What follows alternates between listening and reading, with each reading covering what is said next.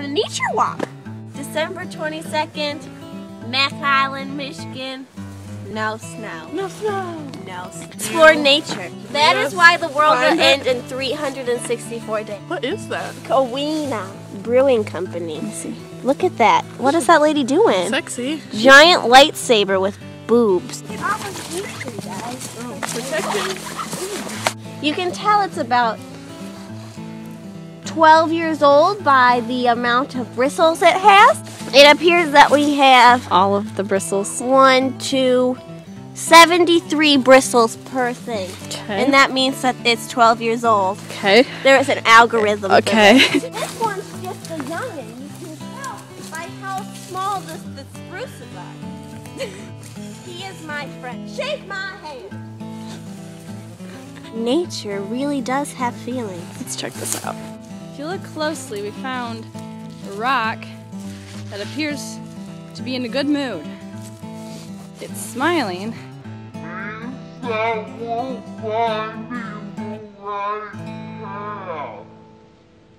Giant pencils. So we've been using them as walking sticks. Mine's not really sharp anymore. We found a couple trees to tip. That's what people do for love of nature. The ground is slightly frozen and dusted with snow.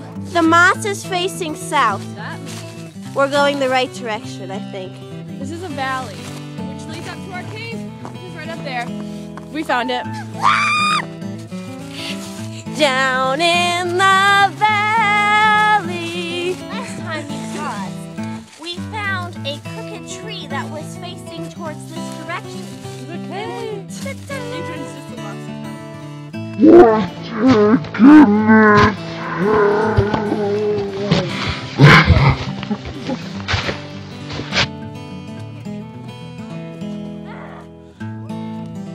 is the ultimate teamwork.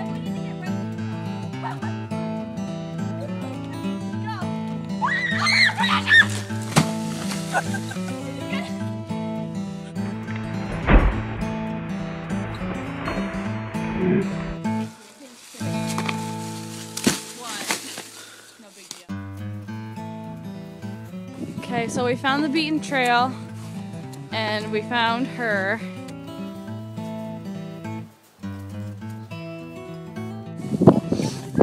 The wind is blowing this way. Keep in mind that nature's always welcoming you, even though it's 10 degrees and I can't feel my fingers.